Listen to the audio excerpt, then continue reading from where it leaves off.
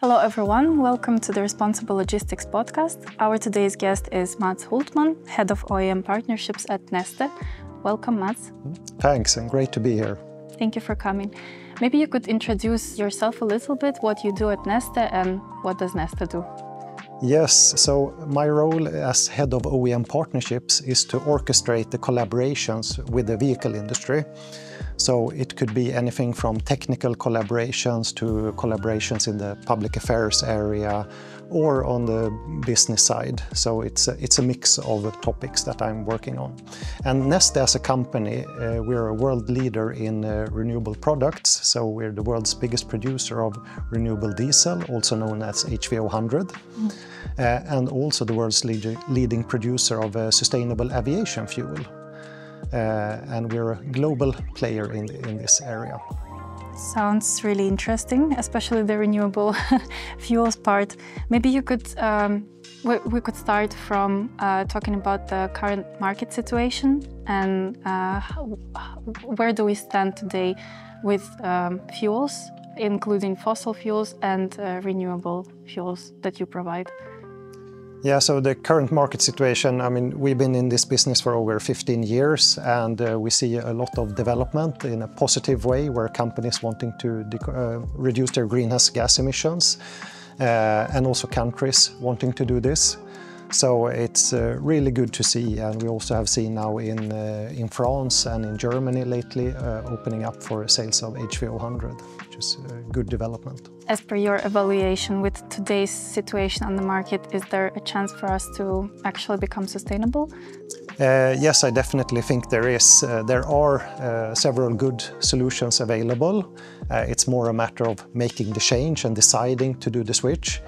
Uh, so definitely there is a good uh, potential to do it. Of course, um, uh, legislation plays a role and can help to make the shift e even quicker. But also uh, we see a strong commitment from many companies uh, to achieve their climate targets and to really help with uh, lowering the greenhouse gas emissions. Uh, so this combined creates a good environment, but we can always do more, I say. Okay, and going more into a detailed description of fuel offerings, let's say, uh, what are the main products that we have today on the market that are renewable or sustainable? Yeah, there, there are a couple of different solutions. Uh, so uh, what we do at Neste is uh, our product is Neste My Renewable Diesel, an HVO100 product. It's something you could start using already here and now today in any diesel engine. Uh, so it's yeah, and widely available. So that's, I would say, one of the good solutions. Uh, then there are a couple of others that also, uh, like biomethane and others. Uh, so yeah, there are solutions available today that, that can help, uh, but there's also a lot uh, coming or a lot under development also. Mm. But uh, today there are a couple of good sol solutions in combination with uh, what can be done with electrification also. Mm -hmm. Talking about Neste's products exactly. You provide renewable diesel, right? Which is the same thing as HVO, as I understand. Yes, uh, and this can be a bit confusing, but renewable diesel and HVO is exactly the same thing. It's just different market and countries or segments use different wordings, but it's exactly the same thing.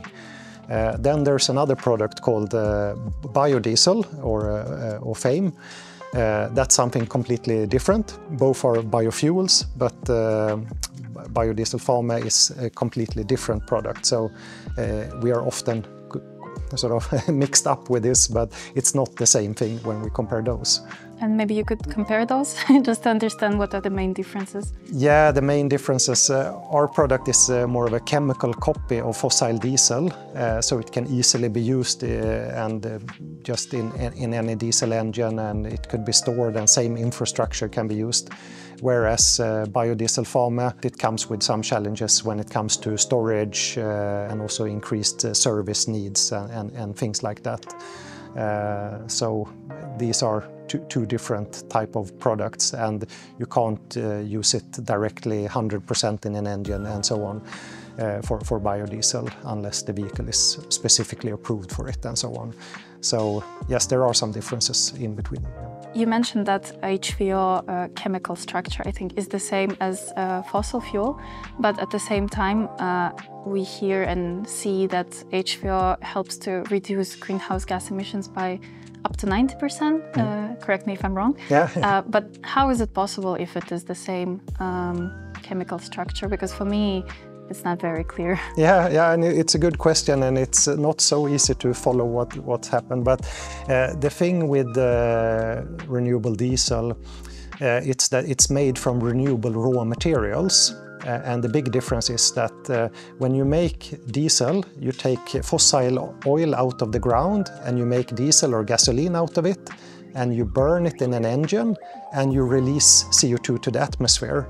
And by doing this, you're adding CO2 to the atmosphere.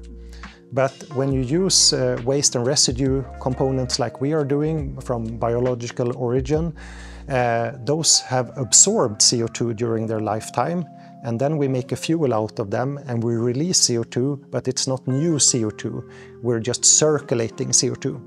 Oh. So, so it's a big difference. And you, you could compare it with a tree. So a tree, when it grows, it absorbs CO2 and then when it dies, it falls to the ground, rottens, and then emits that CO2 back. Mm. So it's circulating CO2.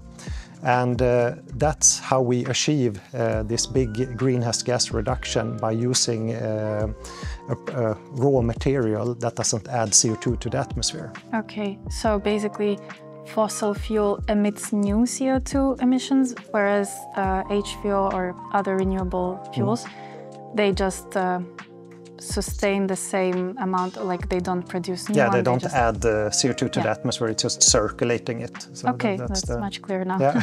but uh, let's then talk about the raw materials. Mm. Uh, and I see that you yes, prepared some little presentation mm. here. Uh, could you explain what is uh, that waste and residue materials you mentioned? Mm. What are they? Yeah, so we use a wide range of different uh, raw materials and we source them globally and we use them in our different production facilities. Uh, and it's mainly waste and residue parts and we have a couple of them here. So we have uh, used cooking oil, that's something we can collect from restaurants and other places where, uh, um, where fryers are and so on. So it's, it's one of our biggest uh, raw materials. Uh, we also have uh, food waste uh, oil here and uh, brown grease, also an example. Uh, but I would also say like uh, waste from um, animal fats, uh, so and waste from fish industries and things like that. So those type of raw materials goes into the production of our, our renewable diesel. And I saw on Neste's website about the special technology, Neste's next generation biomass to liquid technology. Yeah. And as I understand, this is exactly uh, transforming raw materials into renewable diesel. Mm. Um, but maybe you could explain a little bit detail. Yeah, so, so how do we go from uh, used cooking oil to a renewable diesel or HVO100 product? Uh, yes, we use our NEXBTL process, uh, but the first thing we do is that we have to clean these uh, uh, raw materials. So we have to get rid of any impurities, like it could be metals in there or, or As food. you can actually see yeah. here that it's transparent. yeah, uh, there could be like food waste still in there. So and that could hurt our catalyst. So so first we go through a process where we clean the raw materials.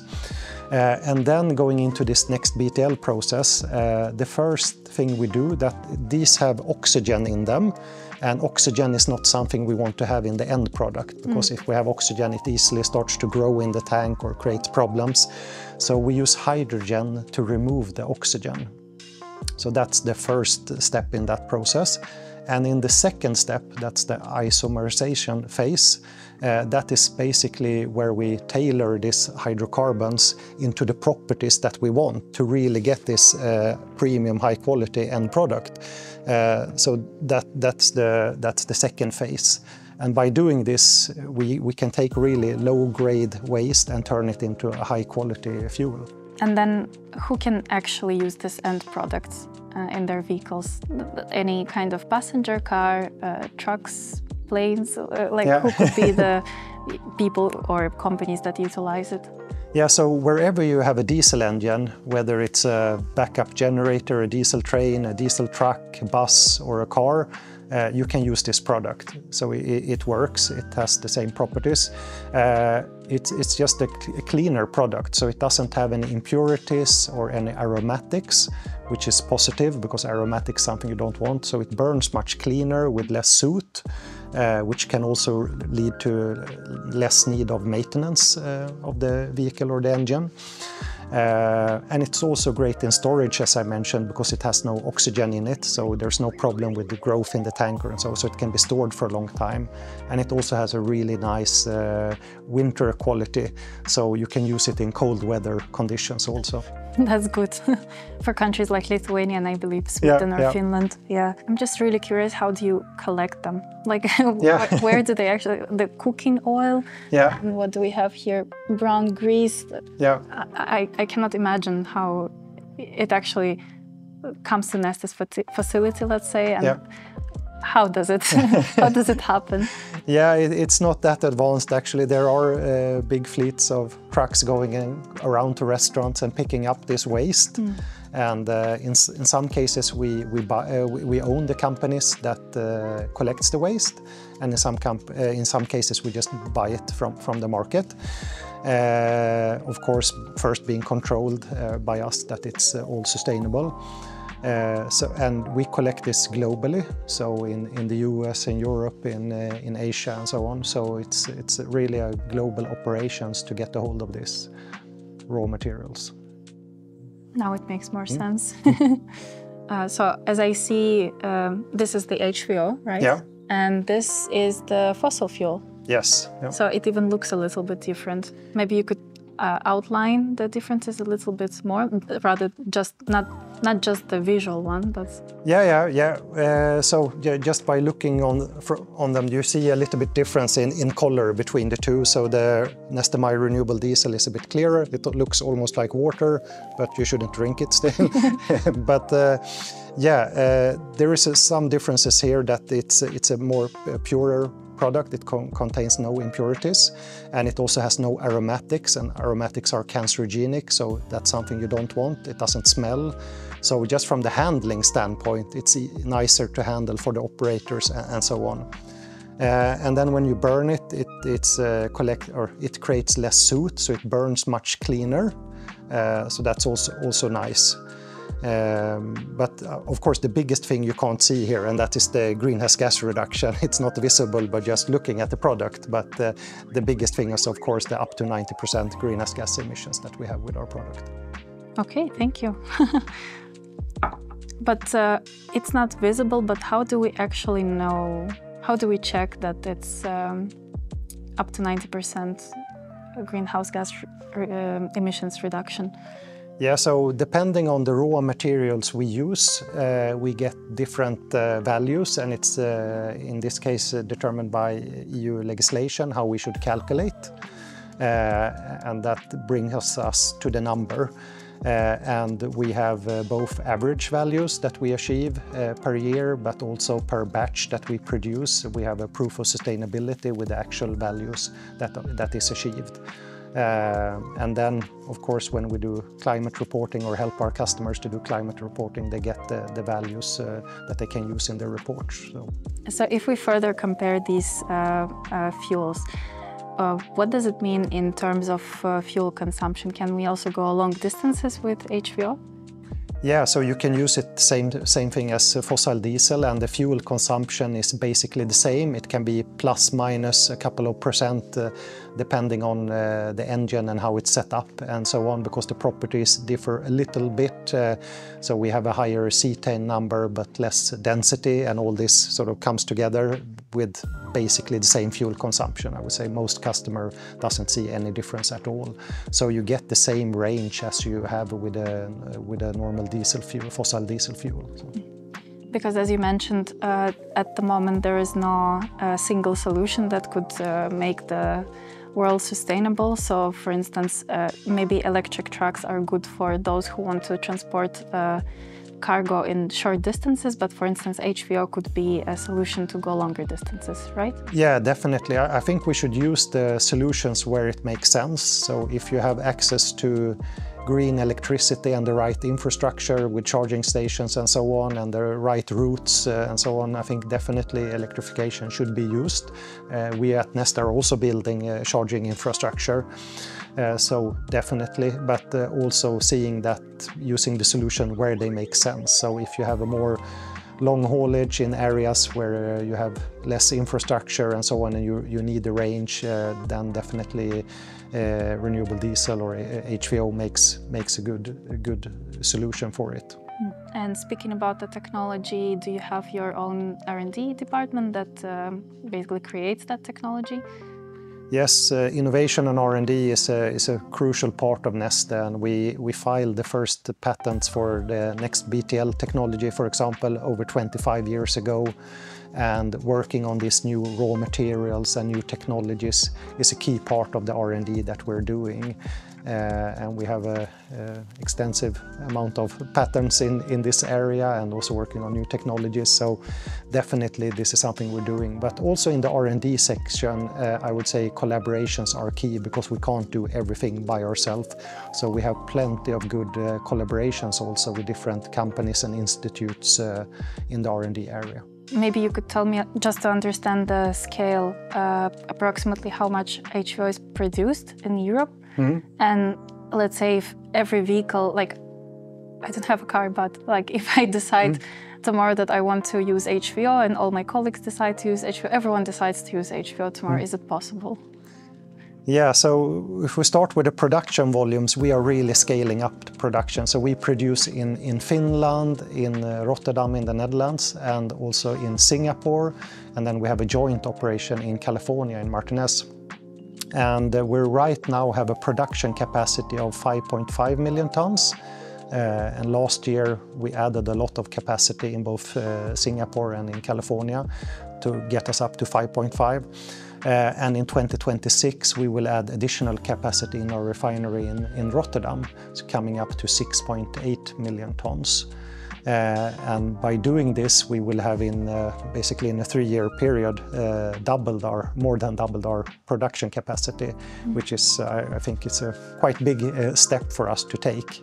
then coming back to, is it enough for everybody? I mean, so far, the companies and people want to use it, it's available and there's enough. Uh, but if to replace all the fossil diesel in the world, uh, there's not enough right now. But there is potential to scale up and do more.